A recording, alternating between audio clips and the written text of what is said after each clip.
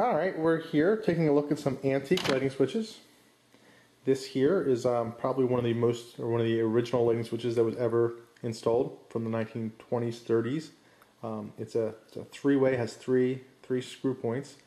If it was four, it'd be a four-way, but it's a three screw points, or wire wire connection points. It's a push-button switch, and here you go. It's just mechanically operated. See, it's a porcelain shell. And there's um there's an access in the back right here to access the mechanical parts. I have a different one here, the same one, but this one I unscrewed the access part. Here's part of the yoke that comes off. And on this one, you can see it's the same switch taken apart. We can see the mechanical pieces here. Let's see if I can get a little more light on this.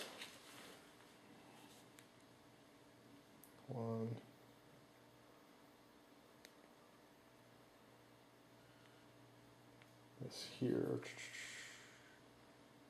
There we go. There, maybe you can see a little bit more on the inside.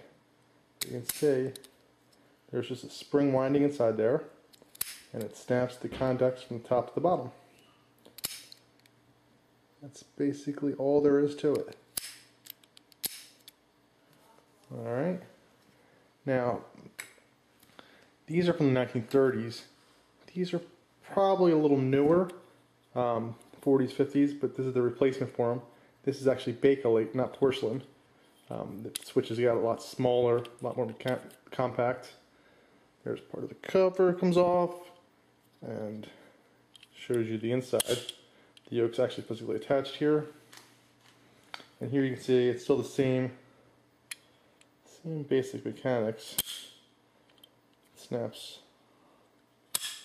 switches, pushes down, there's a spring, and it snaps two knives.